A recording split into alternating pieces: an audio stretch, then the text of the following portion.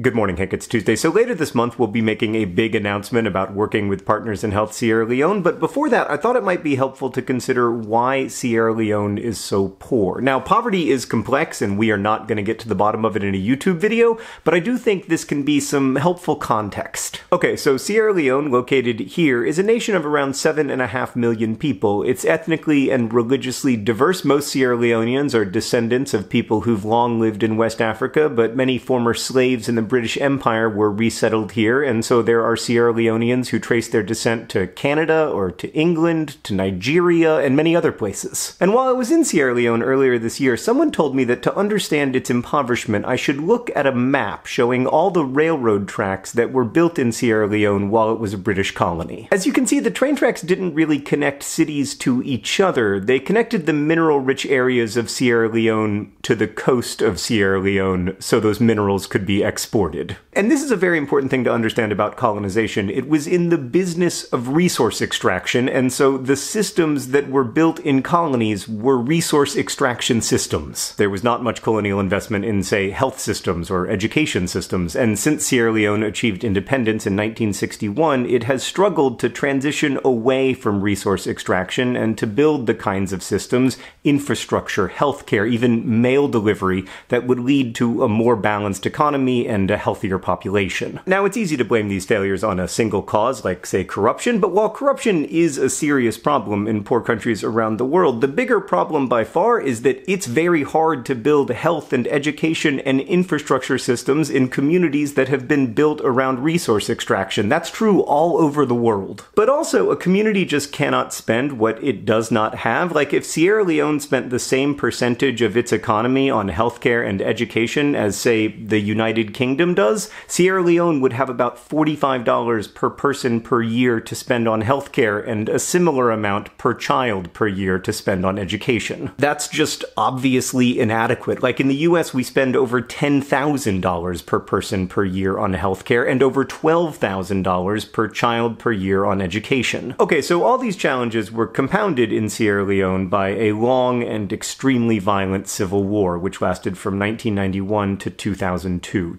tens of thousands of people died, millions were displaced, the healthcare system was devastated, HIV infections increased, deaths from every cause increased, and education and professional development were interrupted as schools closed or students had to flee violence. Like Dr. Bailor Barrie, who founded the widely respected Wellbody Clinic in Sierra Leone, had to leave his studies for a time to escape to a refugee camp, and I heard similar stories from several healthcare workers. Because the Civil War was on all sides partly funded by trade in diamonds and other valuable minerals, the war was especially devastating to Sierra Leone's diamond mining district, Kono. And as we traveled through Kono, I kept thinking about that old Faulkner line about how the past is never dead.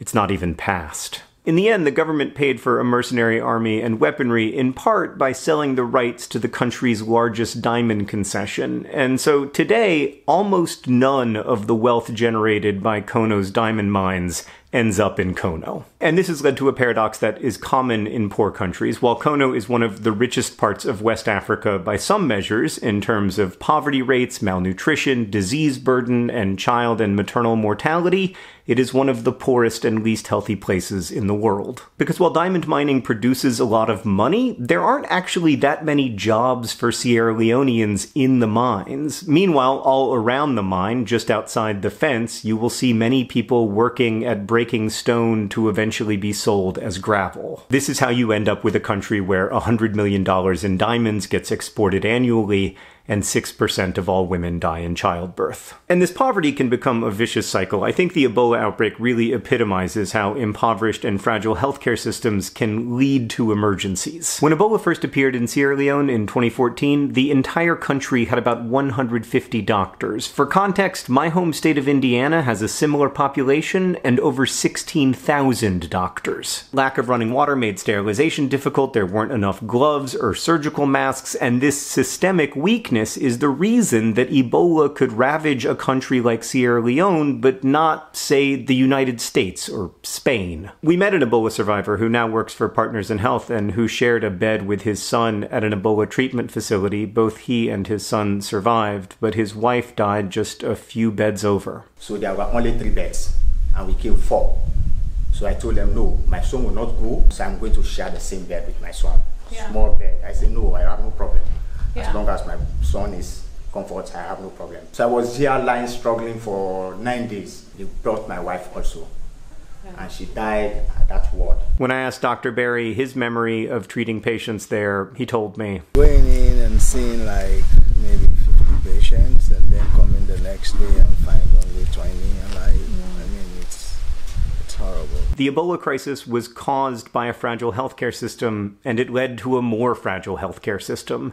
And that vicious cycle is often the story of poverty. So I understand that these problems can feel far away and like they aren't our problems. But first, you can't separate the wealth of nations like the United States and the United Kingdom from the poverty of Sierra Leone. You just can't. We industrialized with their natural resources, and we built lucrative systems of trade by trading in West African slaves. But also, secondly, if these problems aren't our problems, I'm troubled by how we're defining us. Like, I don't want to be part of an us that makes a them of the world's most vulnerable people. And I think the idea that Sierra Leone can somehow solve its own problems in isolation wrongly imagines that its problems exist in isolation. Now, of course, one of the risks of philanthropic work is that it's possible to make things worse or to create new problems while trying to solve old ones. And I think it's important to be aware of those risks and to try to minimize them by grounding your work in listening and deep partnership. But I just think it's inaccurate to say that nothing can be done or that investment is pointless. I have seen the difference that Partners in Health and the Sierra Leonean Ministry of Health have made in the Kono district, even with extremely limited resources. I mean, five years ago, the hospital in Kono had no electricity and very few supplies, and as a result, almost no patients. Today, it is well staffed and well supplied and widely utilized. There's a blood bank and a functioning operating room for C sections and other procedures. Now, it's still totally inadequate. There are only 40 maternal beds for a population of 550,000 people,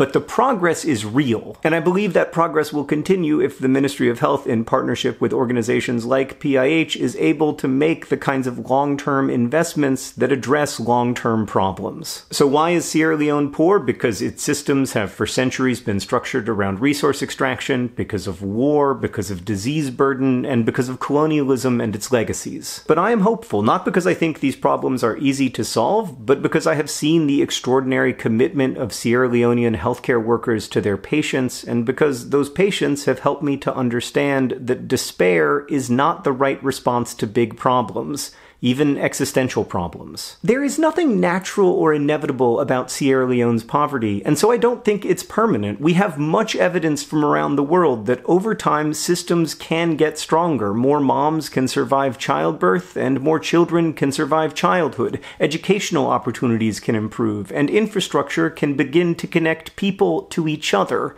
and not just minerals to ports. Hank, I'll see you on Friday.